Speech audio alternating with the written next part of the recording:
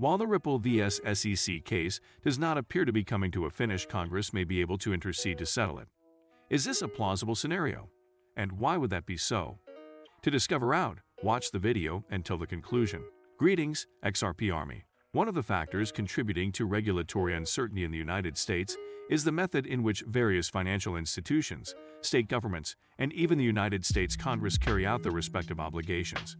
As previously stated, Ripple, a blockchain company situated in San Francisco, is one of the blockchain organizations that understands this notion fairly well.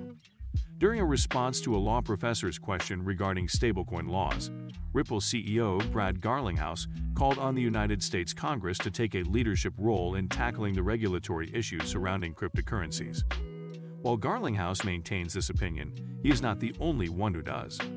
Ripple General Counsel Stuart Alderoty stated that certain members of the United Congress are attempting to speed up the process by sponsoring legislation. Mr. Bernanke, on the other hand, voiced anxiety that other economies would overtake the U.S. The United States will be sanctioned if it continues to postpone its decision on the problem. The executive used the European Union as an example during this process. Anthony Pompliano, an investment specialist, has asked the United States to take the lead, and it was discovered that Bitcoin is unlikely to draw crypto innovation to its borders. To be declared illegal across the entire country, he emphasized the need of building a conducive environment for corporate employees. And he suggested an approach that regulators may use by saying, We will incentivize you to come here. We will provide you with a sandbox to play in. From a regulatory sense, it should not be onerous. We will provide you with a favorable tax climate in order for you to come in and construct this. Pompliano also stated that the Securities and Exchange Commission and the Federal Reserve would get involved. They would lack both the jurisdiction and the ability to impose restrictions on cryptocurrency exchanges or transactions. Indeed, SEC Chairman Gary Gensler has stated that any crypto ban would be the consequence of a decision made by Congress, not the Commission. Because Garlinghouse's appeal took on new significance in the aftermath of this occurrence. On the other side, the uncertainty surrounding the outcome of the SEC v. Ripple Labs lawsuit creates concerns. It is still unanswered. Given that the discovery date has been pushed back to the 14th, cryptologists already know that the inquiry will continue until at least the end of this year, as of the end of January. According to a Ripple spokeswoman, authorities in Australia have included Ripple's recommendations in a review of their fintech regulatory framework, which was issued on October 24. To avoid money laundering, Ripple has argued for technology-neutral rules, laundering. Blockstream, a San Francisco based blockchain business, has also advocated for. In its blockchain projects, it takes a principles based approach rather than a prescriptive structure. Finally, the company recommended a risk based approach to securing the ecosystem while simultaneously promoting private sector participation and investment. When asked about the move, Ripple's Alderoty expressed delight, saying that Australian regulatory authorities were closely collaborating with industry participants. Did you hear about this? Please let us know in the comments section below. But the story doesn't stop there. Deaton mentioned the issue once during his second appearance on the Paul Barron Network. I was speculating about what may happen next in the case at the time. While winning and losing a case appear to be binary outcomes, obtaining a settlement is not. Each has its own set of consequences for the individuals involved. According to Deaton, if the judge rules that XRP is not a security, it indicates that the SEC did not provide fair and adequate notice. If they receive a judgment and win, the market will come to a halt. Gensler's approach to crypto jurisdiction.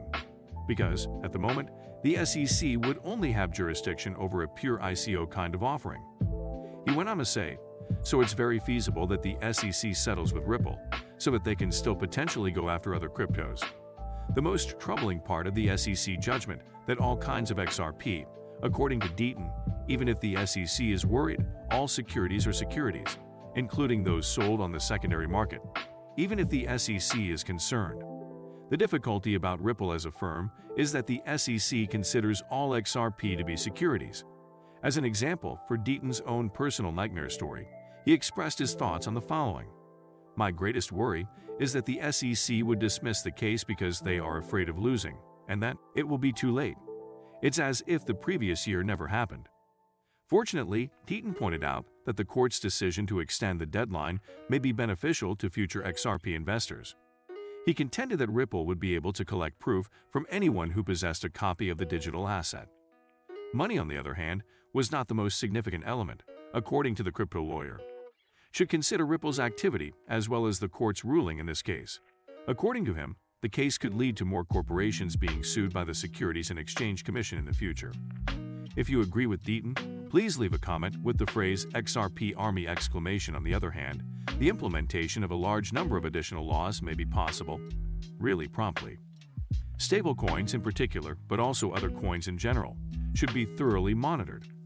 According to the Biden administration, which campaigns in Congress for comprehensive legislation to conduct business, token issuers should be required to become chartered banks or insured depository institutions, according to the government.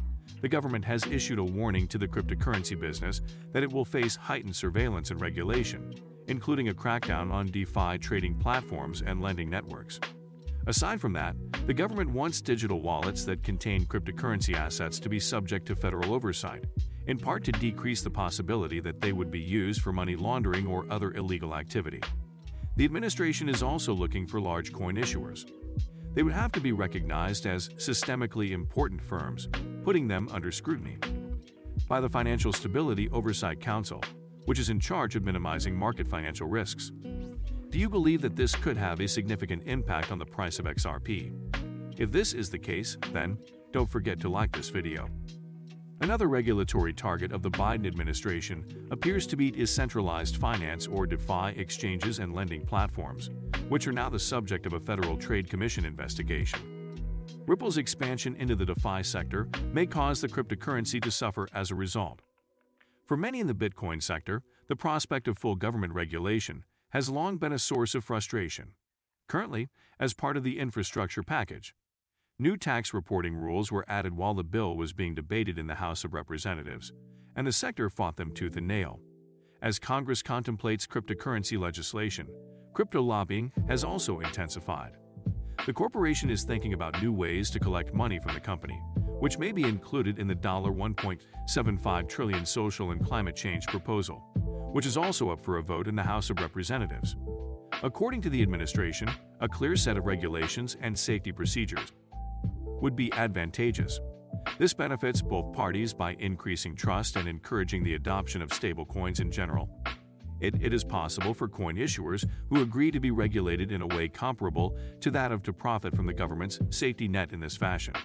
In terms of coinage for coin issuers, this entails both FDIC insurance to compensate consumers in the case of a and methods for orderly resolution if the coin issuer fails.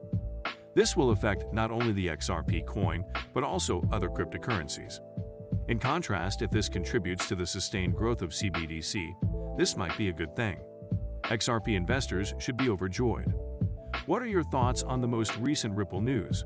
Do you believe the case will be resolved? When will it end? Please let us know in the comments. If you want to learn more about XRP, we have two videos waiting for you at the bottom of the page. Please subscribe to our channel and give us a thumbs up. Thank you very much for taking the time to watch. See you in the video below. Please keep in mind that Bitcoin prices change on a regular basis. As a result, by the time you watch this video, it may have changed drastically.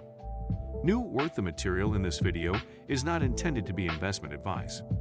Financial advice, trade advice, or any other sort of advice should not be considered medical advice, and any other type of advice should not be considered medical advice. Of the information as a whole, this video's content is for educational purposes only.